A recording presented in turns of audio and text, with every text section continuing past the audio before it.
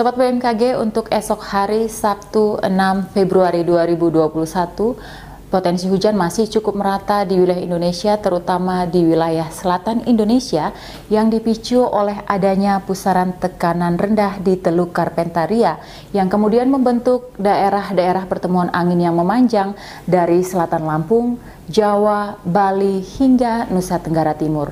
Karena itu kami himbau kepada Sobat BMKG yang berada di wilayah-wilayah tersebut agar mewaspadai adanya potensi bencana hidrometeorologi. Selanjutnya kita lihat perakiraan cuaca ekstrim untuk esok hari diawali dari potensi hujan yang disertai kilat atau petir dan angin kencang terdapat di DKI Jakarta dan Kalimantan Utara.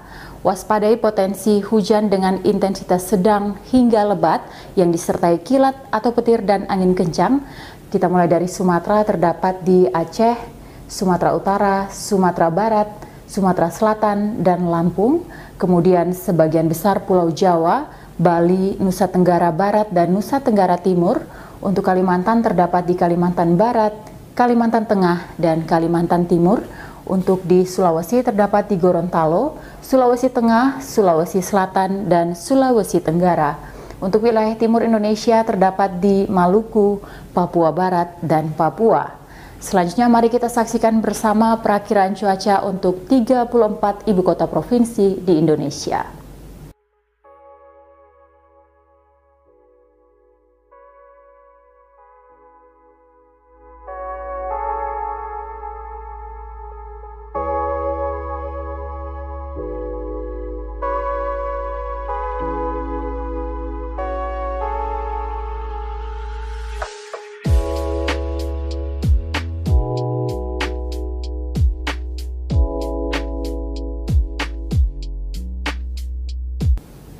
Demikianlah sobat informasi yang dapat kami sampaikan. Semoga bermanfaat bagi kelancaran aktivitas sobat sekalian.